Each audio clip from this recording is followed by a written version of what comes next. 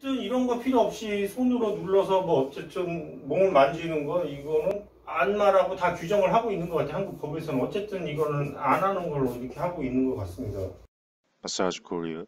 그러면은 또 이제 한간의 그 마사지 자격증이라는 거는 그 어떻게 받느냐 보통 사람들이 갔더니 뭐 피부 미용으로 하면 된다 아니 그럼 이거는 마사지 아니냐 그러니까 마사지가 아니래 아 그건 뭐냐 그러면 그냥 이렇게 바르는 정도지. 이렇게 막 마사지는 또 안 된대 이게 뭐 말이 됩니까 이게?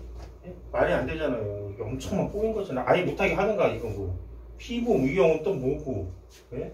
그러니까 말이 안 되는 걸로 자꾸 엮어 나가는 거 이거 꼬이는 거. 이건 그러니까 이거는 안 되고 이거는 되고 이거는 안 되고 또 이거는 되고 이거는 또 안 되고 이건 되고 이게 막 이렇게 꼬여 나가는 거예요 이게 지금. 그렇게 되는데 그래서 어쨌든 사람들이 이거는 자기증을 내고 있어요. 근데 이걸 자기증 내 가지고 이거 하는 것도 불법이에요.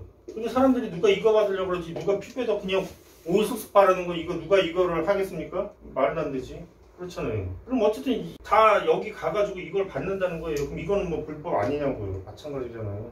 예, 그런데 현재 자격증 국가고시를 한번 제가 본 적이 있어요. 국가고시. 이거 본 적이 있는데